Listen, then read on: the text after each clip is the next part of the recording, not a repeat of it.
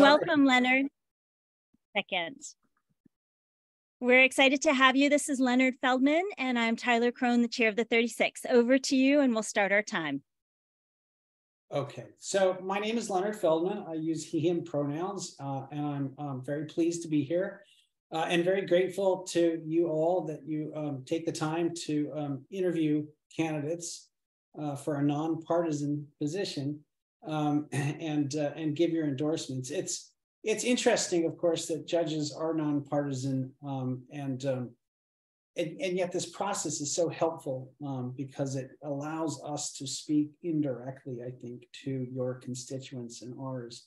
Um, a little bit about my background: I grew up in the Seattle area. Uh, I went to the University of Washington. From there, I went to Harvard Law School. I spent a year clerking for a federal judge and then I began about a 35 year career in private practice, first at a very large international firm, uh, then a smaller regional firm. And in both of those firms, I was largely doing defense work, corporate work. Um, and it clearly wasn't um, satisfying me. Um, and I left um, those firms to go to a small firm that had my name on the door uh, Peterson, Wampold, Rosato, Feldman, and Luna which allowed me to represent real people in real cases um, in situations where people had been wronged. Um, the question was asked earlier why am I running? I'm actually running for um, two reasons. One is um, internal, the other is external. Internal reason is um, I found out in law school that the law and I get along really well. Uh, I enjoy it, I understand it. Um, it fascinates me. Um, I think that it will be extremely rewarding and interesting to be a judge. Um, and I um, and I also am running for external reasons, which very similar to working at Peterson Wampold. Being a judge is an opportunity to do the most good for the most people. Um, and that has been a hallmark of my career. Thank you. Yeah. Now over to you, Alex, to ask the first question. Okay, I'm not seeing a clock anywhere. Should I? Be- I'm keeping I'm keeping time on a stopwatch over here. We haven't figured out how to get the clock big enough in the screen. I can put the clock also in my screen if that would be helpful to you. It's going to be tiny though. Uh, that would be fine. I'm going to see if I can get my own watch going too. Um, I actually, it has to be Amanda because you're the host. I will um, I will try to figure that out in the next question, but let me put it over to Alex here um, to ask our first question. Thank you, Tyler. Uh, Mr. Feldman, how can you, as an appellate court judge, foster and promote access to justice? Yes, so as an appellate court judge, our options are somewhat limited. Um, appellate judges are reactive, not proactive. The cases are decided in the um, Superior Court, the trial courts, um, and then they come to us with a, an established record. Um, but there are very important um, opportunities and responsibilities of appellate court judges. There's a recent Washington Supreme Court decision called Henderson. Um, Henderson was a case where there was very clearly some sort of um, racial signaling going on in the trial court by the defense or the prosecutors. And that's not unusual. Um, I worked on a case like that years ago where the defendants in a med mal case were um, using um, racial uh, evidence uh, as a way of potentially prejudicing the jury. And it's the responsibility of the appellate court to figure out what is going on, applying the Henderson case or pre existing principles and make sure that the um, litigants are getting a fair trial.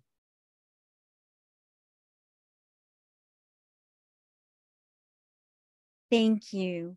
Question number two goes to Brittany. And again, that was about one minute and eight seconds just for your timing perspective. So if you want to expand, we can also use that time for follow-up. Um, but Brittany, over to you for question number two. Hi. So um, racism and implicit bias may intrude into trial court proceedings. How will you identify and address racism and implicit bias in rulings and verdicts that you will review as an appellate court judge? Yeah, so the Henderson decision is really important in that regard. And what Henderson requires is that anytime there is um, uh, even an inkling that um, racial bias, whether implicit or explicit, um, is being utilized as a tool uh, in the um, Superior Court, um, there, there has to be a hearing. Um, and so it's the responsibility of the trial court judges to make sure that hearing occurs and then it's the responsibility of the appellate court judges to carefully review that record um, and figure out if any sort of thing like that is occurring. Um, and so the answer to your question is that that's my responsibility. That's on me. When um, these issues come before the Court of Appeals, um, my clerks and myself, we will be carefully reviewing the record, figuring out if there's something that cannot be explained, like the decision that I mentioned earlier in Henderson, or the case that I worked on years ago um, in Nero. Um, and um, in the event that we see something like that happening, the remedy that the Washington Supreme Court has um, mandated is that the case has to be sent back to the Superior Court. The Superior Court then conducts a hearing um, to figure out what was going on? Is there a non racial explanation for the conduct of the lawyers uh, in the trial court? Um, and if there isn't a sufficient explanation, if it appears as though racial bias was used as a um, weapon uh, against a litigant, um, if it looks like there is any racial bias that may have infected the trial court proceedings, um, then the trial gets repeated. Um, and I, as I said earlier, I think that's a profoundly important responsibility of appellate court judges. Thank you. Yeah. Question number three to you, Shep. What is, it just moved on me, sorry. What is one unconscious bias you used to have that you have learned about and examined? How have you addressed that bias so that it does not impact your ability to treat those appearing in front of you your staff, or your colleagues in a fair and equitable way? Yes, so um, as a white male, I have a certain background, I have certain experience, I have certain ways that historically I've looked at issues. Um, I have a real advantage in that um, I teach law school and I have these young students that come from a very diverse background. Um, and many of them are just brilliant um, many of them bring a very unique, uh, their own, you know, unique perspective.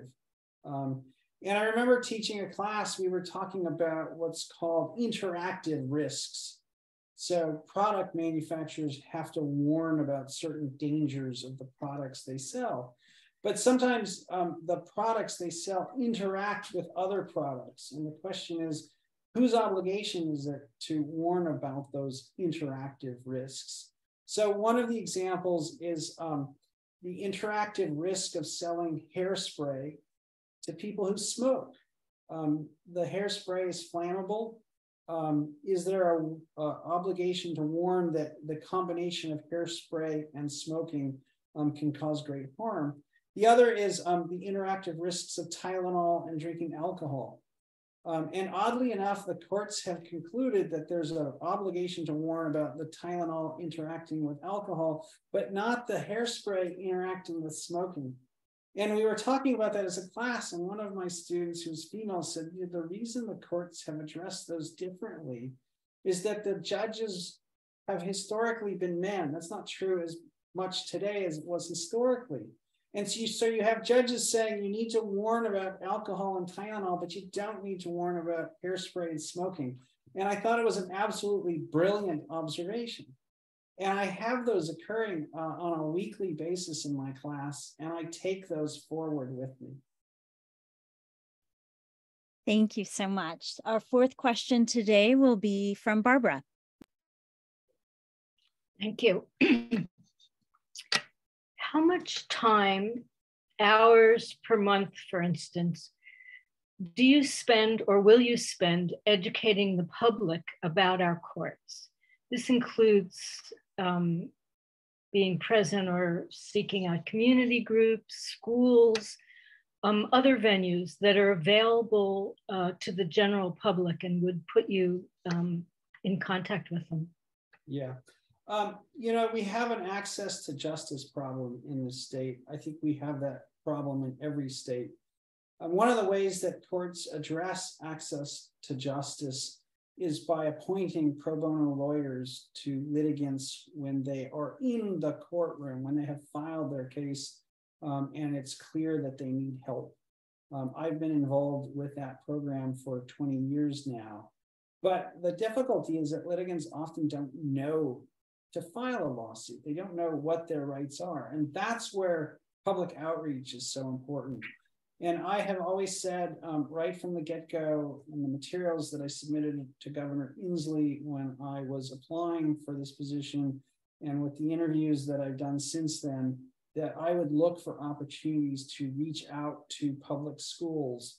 Um, I can't give you a number in terms of the number of hours, but it would be significant. Um, both of my kids uh, were educated at Garfield, um, and um, you know we have close connections there that would certainly be one of the schools where I would want to give presentations, um, either to an assembly or to a class, um, so that people understand what their legal rights are, so that when their legal rights are trampled, when they feel like something has happened that doesn't seem right, they'll know to ask the further questions. And then they'll have the opportunity to have a lawyer appointed um, to do that work pro bono free of charge. Um, and um, and I think that you know the system works much better that way. Um, so as I said, I don't have a number, but um, but I would say it's substantial, um, and it's a promise that I made to the governor when I applied for this position. It'd be a promise that I would make to you all as well. Thank you Thanks. so much.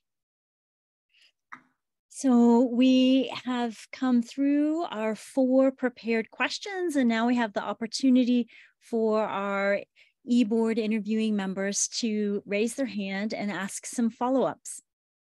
Shep, over to you. And sorry, one point of clarification. You'll have a question and then we'll ask for you to for, use a one minute follow-up. Thank you so much, Shep. Okay. Um, thank you. Uh, I'll try to articulate this uh, as a try to articulate this clearly. As a follow-up to question two, um, there are things that will occur at the trial court that aren't obviously um, biased or that aren't obviously clear racism. Uh, and I would think a clever trial judge who knows better would figure out ways to disguise the racism or the implicit bias if they're aware of it. Um, my question is, as an appellate court judge, how are you going to sniff that out and figure out if something like that is an operation that is uh, unfairly um, harming the uh, defendant?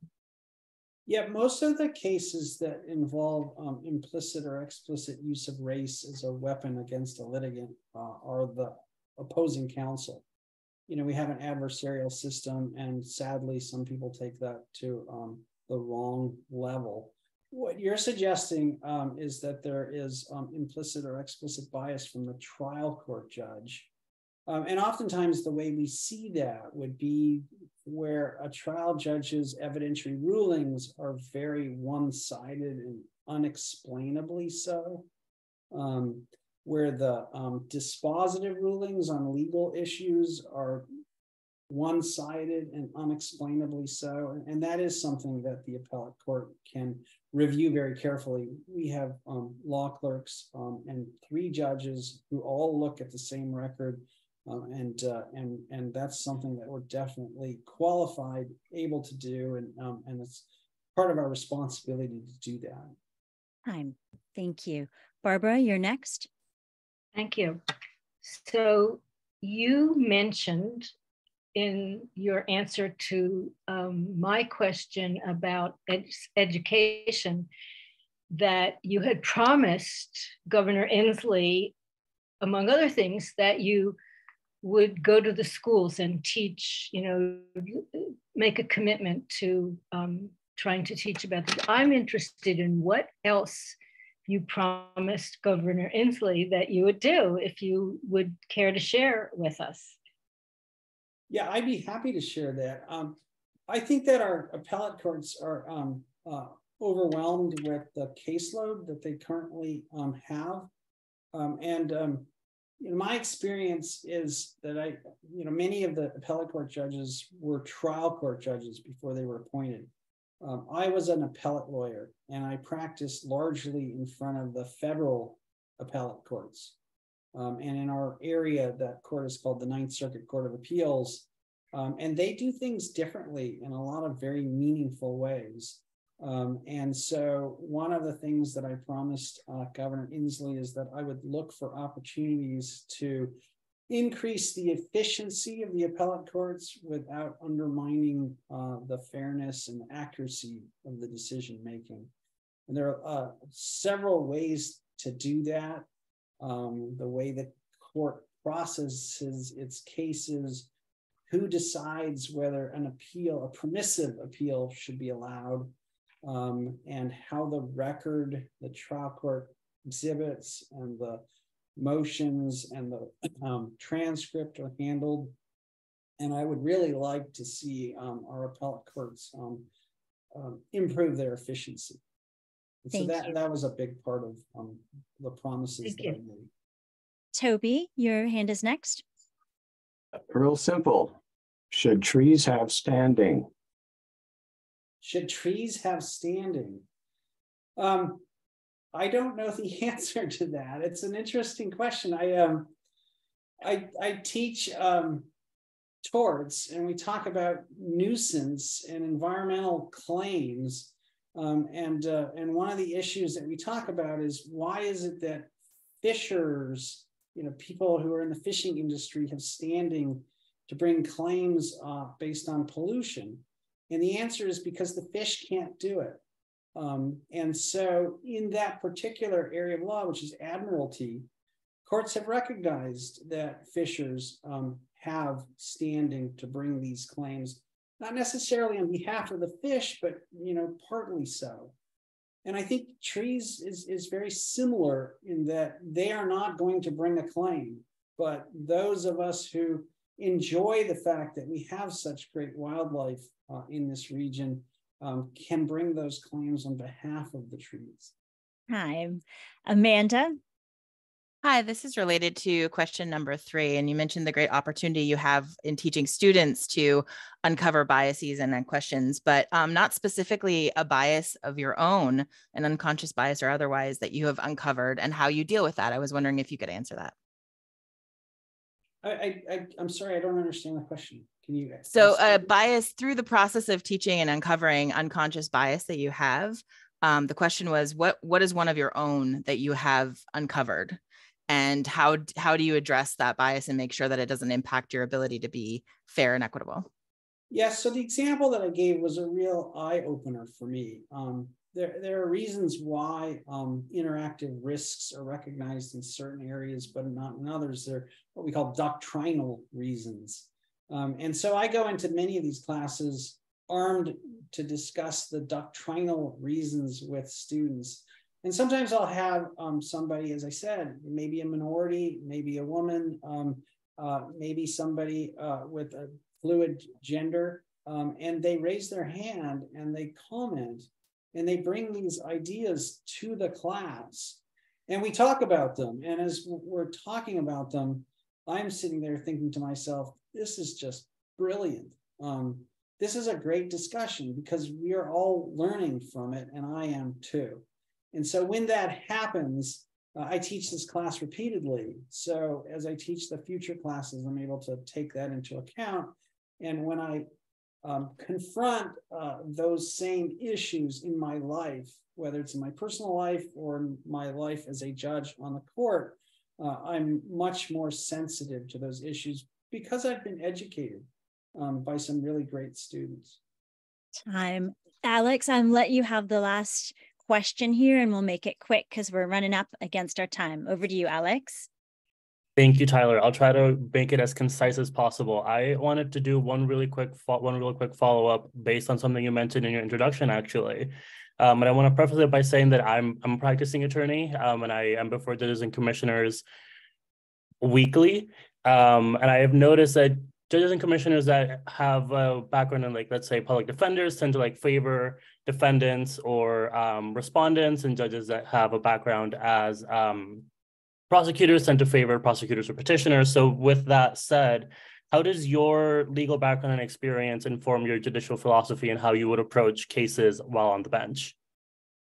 Yeah, so I'm a civil, or I was a civil lawyer, um, and I represented defendants for about the first 20 years of my practice. And then I represented plaintiffs for the last eight or so years of my practice. So my hope is that I see both sides of it um, and I can bring that to bear. That, you know, that's in civil cases.